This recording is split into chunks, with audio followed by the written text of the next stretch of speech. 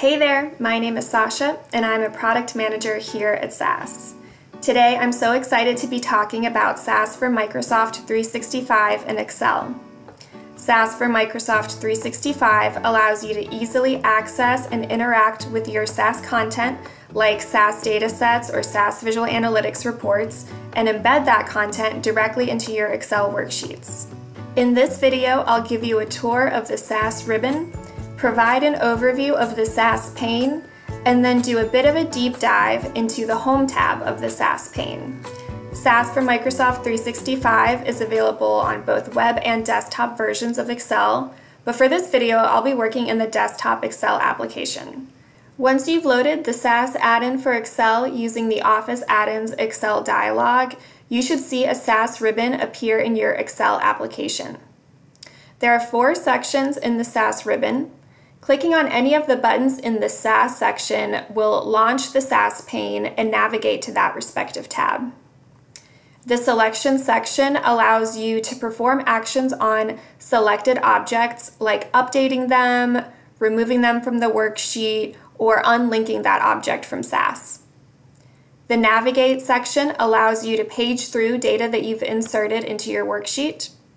And finally, the Help section links you to the most recent version of our product documentation. Okay, so I'm going to launch the SAS pane by clicking on Home and the SAS pane will appear over here on the right hand side.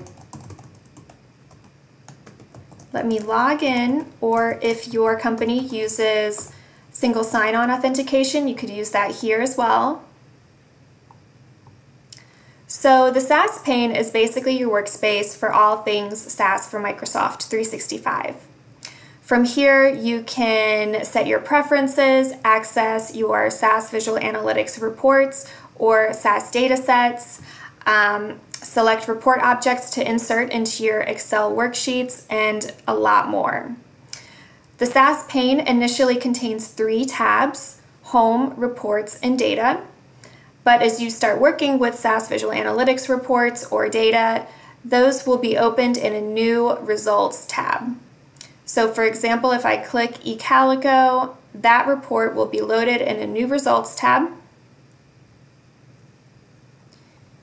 So you'll see I have my report loaded here and I can immediately begin to interact with this report and the visualizations in the report. Now let's jump back to the Home tab.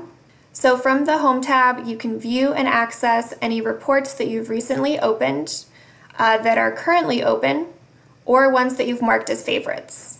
You can filter to display both reports and data, or either reports or tables. By default, you view this content as tiles, but you can also view these reports and tables as a list view. And from the list view, you can also specify content as favorites. So I'm going to specify my eCalico report and the class dataset as favorites, and then go back to my tile view. Now you'll see that if I go to favorites, those two will be in this folder. Finally, you can access your current SAS deployment by clicking the Overflow menu and selecting Open SAS Viya. This will open the location of your SAS deployment in a new browser window. That was a quick overview of getting started with SAS for Microsoft 365. Next time, we'll take a look at working with SAS Visual Analytics reports and SAS data in Excel. I hope this video has been useful to you. If you'd like, take a look at the links that are down below and maybe find some other content that can help you. And if you want more tips and tricks like this that I've shared, please subscribe to the SAS Users channel. Until next time!